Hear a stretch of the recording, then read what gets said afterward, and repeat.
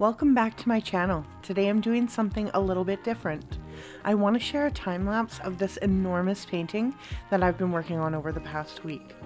This painting is done on an imperial sheet, so it's 22 by 30 inches, and I used hot press paper. It's painted mainly in watercolor, but I did use a bit of water-soluble pastel to accentuate some highlights and create some vibrant colors in the background. In total, this painting took about 15 hours to complete over about 7 days. I really enjoy pieces with a high level of detail. I love to paint shine, chrome, and metal.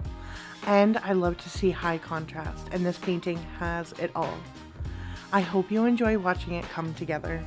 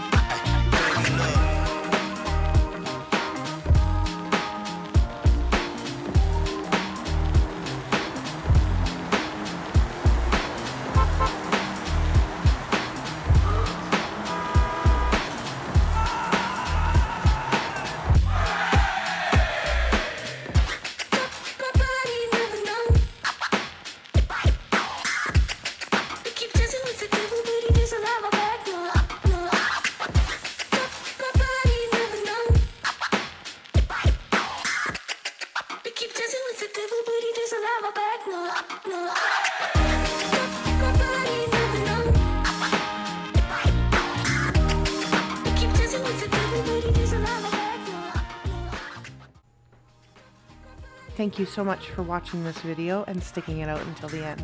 Give it a thumbs up if you made it all the way through. Please consider subscribing if you'd like to see more content like this. I'll see you in the next video. Bye!